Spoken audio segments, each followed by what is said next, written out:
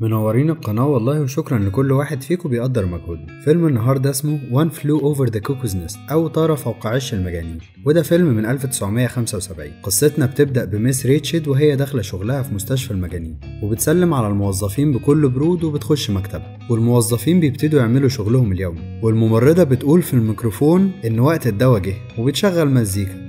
وبعدها المرضى كلهم بيجوا ياخدوا الدواء بتاعهم. في نفس الوقت اللي بيجي مجنون جديد للمستشفى وبيبقى باين عليه الجنون زي إنه بيضحك كتير من غير سبب وبيعلي صوته وبيتنطط. فبيدخلوه مع المرضى وبنعرف إن اسمه ماكميرفي. وأول ما دخل بدأ يتعرف على الناس اللي في المكان. وبيتريق على راجل ضخم هندي ما بيسمعش وما بيتكلمش. وبيقعد يتنطط قدامه وبيعمل حركات الهنود الحمر. في نفس الوقت اللي بيلعب فيه باقي المرضى كوتشينه فبيروح لهم وبيبقى ماسك في إيده كروت برضه وبيلعب بيها. لكن بتبقى مليانة صور. ففي واحد مركز مع الكروت دي فبيسأله انت بتحب تبص على كروت الناس؟ فبيجاوب بيقول له آه وبيوريه ماكميرفي كارت معين بيشد بيه انتباهه وبيخليه يقوم يمشي وراه. وواحد من اللي قاعدين بيبقى هيعيط إنهم مش هيكملوا لعب. وبياخد واشنطن ماكميرفي لدكتور راندل عشان يقيمه هو مجنون ولا لأ. وبنعرف إنه كان بيتخانق كتير وإنه جاي من السجن. وفي في سجله اعتقالات كتير بسبب أحداث شغب كتير. دكتور بيقول له التقارير بتقول إنك بتزيف جنونك عشان ما تقضيش الأشغال اللي عليك. وهنا ماكميرفي بيسأله عن رأيه. هل هو شايفه بيدعي الجنون؟ ما بيردش الدكتور عليه وبيسأله هل أنت شايف إن في مشكلة في عقلك؟ ماكميرفي بيقول له ولا في أي مشكلة في عقلي وأنا معجزة العلم الحديث. فالدكتور بيعرفه إنه هيقعد معاهم فترة عشان يقيموه ويدرسوه ويحددوا اللي هيحصل معاه بعد كده. وبنروح لميس ريتشد اللي بتبدأ جلسة بيكون قاعد فيها المجانين. وبتقول إنهم وقفوا الجلسة اللي فاتت عند كلام السيد هاردنج وعلاقته بمراته وإنه ما كانش مرتاح لأن مراته بتشد أنظار الرجالة في الشارع وإنه قال لها إنه مش عايز يشوفها تاني وإنها خانته. وبتطلب من سيد سكانلون إنه يبدأ الكلام النهارده بس ما بيرضاش فبتسأل بيلي فبيقول لها لأ. فبتقول له إنها عايزة تكتب في كتابها إن هو بدأ يتكلم في الجلسة ولو لمرة واحدة. فبتسأل شيزويك فبيقول لها أنا وبيبقى هيعيط وبيشاور لأ. فبتقول لهم يعني مفيش راجل واحد هنا عنده رأي في الموضوع ده؟ فبتوجه هي كلامها لهاردنج وتقول له أنت قلت في كذا مناسبة إنك بتشك في مراتك وإنها على علاقة برجالة تانية. أنت ليه بتشك في مراتك؟ فبيقول لها إنه خمن الأسباب اللي خلت مراته تخونه. فبتسأله طب أنت عمرك خمنت إنك غير صبور مع مراتك عشان هي ما تعرفش تتعامل مع مشاكل عقلك؟ فبيقول لها ممكن بس الحاجة الوحيدة اللي ممكن أخمنها هي إن ليا حياتي الخاصة مع أو من غير مراتي. وبيبتدي يقول كلام كبير محدش بيبقى فاهمه من اللي قاعدين. بعدها بيطلب منه واحد إنه يسيبه من الكلام الغريب ده ويخش في الموضوع على طول. فبيتعصب ويقول لهم إنه مش بس بيتكلم عن مراته هو بيتكلم عن حياته ومش بس حياته لا دي حياة الجميع. وبيتكلم عن ربنا والشيطان والجنة والجحيم وبيسألهم فهمتوني أخيرا؟ فبيرد عليه نفس الشخص وبيقول له آه. فهمنا إنك غبي. بعدها كل اللي في الاجتماع بيتكلم كلام غير مفهوم وبيقعد ماكميرفي يضحك عليهم وشيزويك يعيط ويقول له كلهم ضدك وأوقات بيبقوا ضدي أنا كمان. فبيطلب منه هاردنج إنه ياخد الأمور ببساطة وما ياخدش صف وبيرجع يزعق في كل اللي قاعدين والجلسة بتخلص. بعدها بيطلعوا بره وبيسأل ماكميرفي الهندي هل هو لعب سلة قبل كده؟ وبيعلمه بالإشارة. وطلب منه إنه يقف تحت السلة ويمسك الكورة ويرفع إيده وبعدها ينط ويرمي الكورة لكن بيبقى مش فاهمه فبيروح يطلب من بنسين يشيله ويروح ياخد الكورة منه ويحطها هو في السلة وطلب من الهندي يقلده ويعمل زيه لكنه فضل ماسك الكورة وما اتحركش برضه. بعدها بيخشوا يلعبوا كوتشينة على رهان والرهان بيبقى على سجاير وهنا بيعلمهم ماكميرفي إزاي يلعبوا لكن مارتيني ما بيبقاش فاهم وبيقعد يقطع السجاير ويحاول يراهن بيها لحد ما بيجي وقت الدواء وبيخش ماكميرفي عند الممرضة. لكن ريتشد بتيجي وتعرفوا إن المرضى ما ينفعش يكونوا هنا وبتخرجوا بره فبيكلمها ويقول لها إنها توطي صوت المزيكا شوية عشان يعرفوا يتكلموا مع بعض.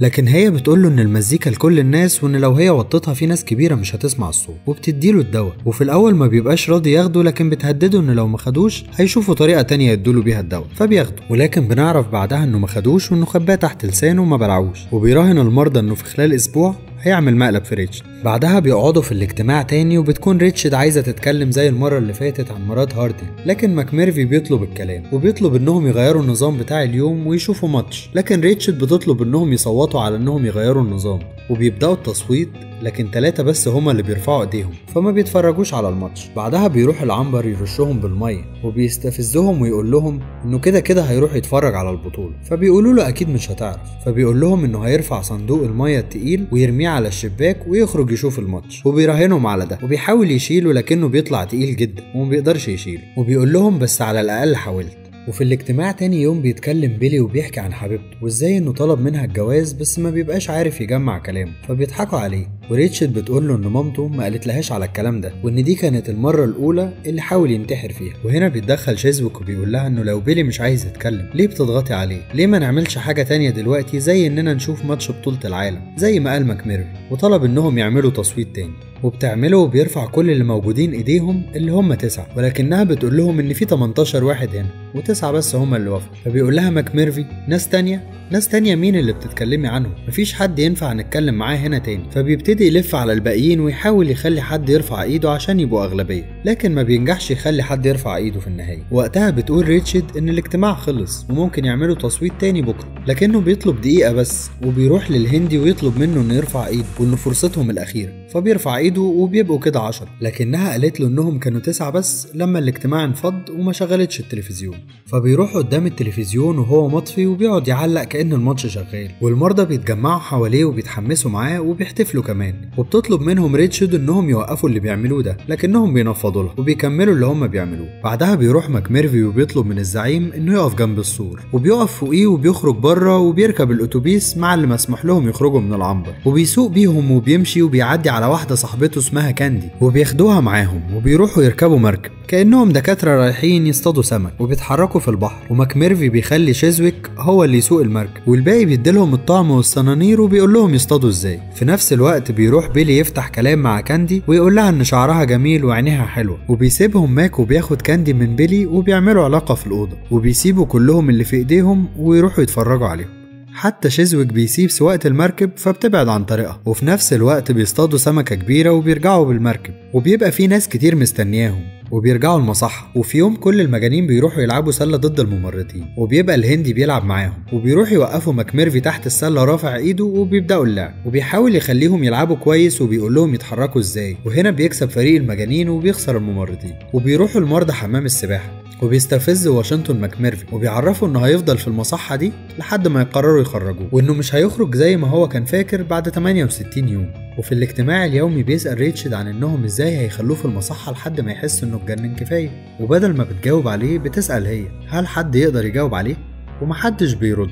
فبيقول لهم أنتوا سبتوني أعمل مشاكل مع الممرضات وانتوا عارفين إيه اللي هيحصل لي وبيعرف إن في ناس منهم متطوعين عشان يبقوا في المكان ده. فبيتعصب وبيزعق ويقول لهم أنتوا بتعملوا إيه هنا؟ ولازم يكون عندكم الشجاعة وتخرجوا من المكان ده وبيتعلق ريتشارد إن كلامه ده فيه تحدي كبير وشيزويك بيفضل يقف كل شوية وبيطلب سجايره ومحدش بيرضى يديها له فماكميرفي بيقول لهم حد يديله سجاير لكنه بيزعق ويقول له إنه مش عايز أي سجاير هو عايز سجايره هو. وبيسأل ريتشارد ليه بتخلي سجايرنا في الدرج بتاعك وتديني علبة بس لما يجيلك مزاج لكنها ما بترضاش ترد عليه غير لما يهدى. وبتقول لهم إن ماكميرفي عامل نادي قمار وإنهم كلهم بيخسروا السجاير في الرهان وفلوس كمان. ووقتها شيزويك بيقعد يزعق بشكل هستيري فماكميرفي بيكسر الإزاز بتاع المكتب وبيجيب له السجاير ويديها له. وبيجي واشنطن عشان يمسكه لكن الهندي بيمسكه وبيبعدوا عنه. لكن بعدها بيتمسكوا هما الاتنين وبياخدوهم ومعاهم شيزويك على مكان تاني. وبياخدوا شيزويك يدخلوه أوضة وهنا ماكميرفي بيطلع لبانه وبيديها للهندي اللي بيرد عليه ويقول له شكرا. فبيعرف إنه بيتكلم وبيسمع. فبيقول له يعني أنت ضحكت عليهم كلهم؟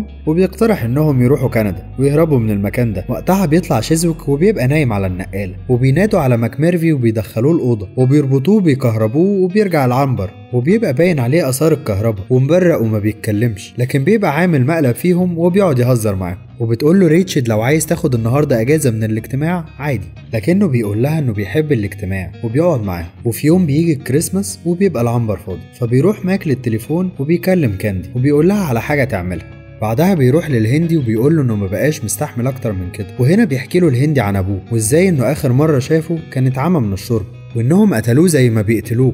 بإنهم يكرهوك بس وبيروح ماك عشان يشوف كاندي لكن الحارس بيشوفه وبيقول له يرجع لسريره وبعدها بيشوف كاندي وصاحبتها فبيديله ماك فلوس عشان يدخلهم جوه وبيسيب ماك صاحبة كاندي مع الحارس وبياخد كاندي وبيخرجوا وبيصحي المرضى كلهم وبيشغل لهم مزيكا كمان وبيعملوا حفلة. لكن في ممرضة رجعت فبيستخبوا كلهم وبيطلع الحارس هو يكلمها ويمثل عليها هو وصاحبة كاندي إنهم بيعملوا علاقة. بعدها بيرجعوا للحفلة تاني وكل واحد بينبسط بطريقته وبيلي بيفضل مع كاندي يرقص وبعدها ماك بيروح ياخد المفتاح من الحارس وبيبقى هيمشي. وبيودعهم وبيطلب من بيلي إنه يجي معاه لكنه بيقول له إنه مش جاهز لسه وساعتها ماك بيقول له إنه هيبعت له عنوانه لما يروح كندا ولما يبقى جاهز يجيله فبيسأله هي كاندي رايحة معاك؟ وإذا كان هيتجوزها ولا لأ؟ فبيقول له بتسأل ليه؟ هو أنت عايز تعمل معاها علاقة؟ وهنا بيتكسف فبيقرر إنه يساعده ويخليه يعمل علاقة. وبيدخلوه كلهم أوضة وبيسيبوه معاها وبيمشوا. والصبح بيجي الممرضين كلهم وبيبقى كل المجانين على الأرض نايمين والعنبر كله متكسر ومليان حاجات من احتفالات امبارح. وبتبقى ريتشد متعصبة جدا وبتخلي كل الممرضين يشوفوا لو في حد ناقص. وبيبقوا كلهم موجودين ما عدا بيلي